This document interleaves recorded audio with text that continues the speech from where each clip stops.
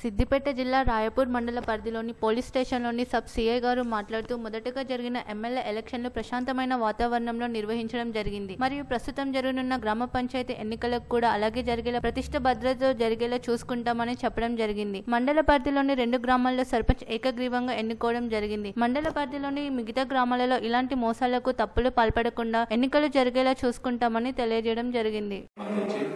మొత్తం గ్రామ పంచాయతీలు పదిహేడు ఉన్నాయి. పదిహేడుల నుండి రెండు గ్రామ పంచాయతీలు యునానమస్ చేయడం జరిగింది. అయినాయి. ఇప్పుడు మనకు ఎలక్షన్స్ జరిగేటి ఇంకా పదిహేను పంచాయతీలు ఉన్నాయి. దానికి ప్రతి పంచాయతీకి ఇద్దరు చొప్పున ముప్పై మందిని మరియు మొబైల్ పార్టీల నలుగురు నలుగురు చొప్పున పదహారు మందిని ఒక సిఐ గారు ఇద్దరు ఎస్ఐలు నలుగురు ఏఎస్ఐలు స్టాఫ్ ఒక నలభై మంది తోటి పటిష్టమైన బందోబస్తులు ఏర్పాటు చేయడం జరుగుతుంది ఆ, ఇంతకుముందు జరిగిన జనరల్ ఎలక్షన్స్ కూడా చాలా ప్రశాంతంగా జరిగినాయి. ఈ పంచాయతీ ఎలక్షన్స్ కూడా చాలా ప్రశాంతంగానే జరుగుతాయని ఆశిస్తున్నాం ప్రజలు కూడా సహకరించాలని కోరుతున్నాము. వీడియో కవరేజ్ కూడా చేస్తున్నాము. మేజర్ గ్రామ పంచాయతీలలో వీలైన చోట్ల సీసీ కెమెరాస్ కూడా ఏర్పాటు చేసినాము బయట.